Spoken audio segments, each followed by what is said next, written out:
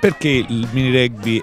è importante? Nella, nelle scuole inglesi, nelle scuole anglosassoni,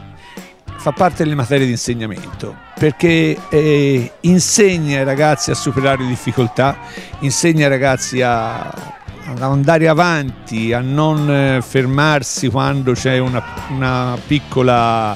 eh, un piccolo problema, li fa crescere, li fa ritrovare la eh, voglia di giocare insieme agli altri bambini. È importante perché soprattutto in questa età i bambini devono sviluppare i loro schemi corporei e nel rugby penso che più che in altri sport riesca a farlo in modo più istintivo e naturale possibile.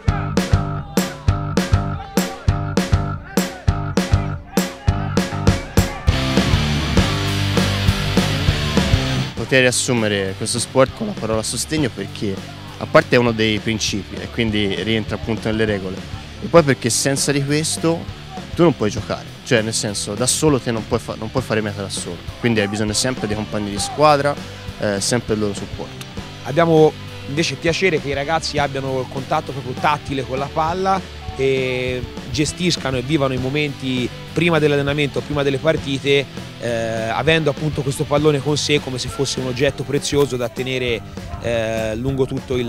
il loro cammino.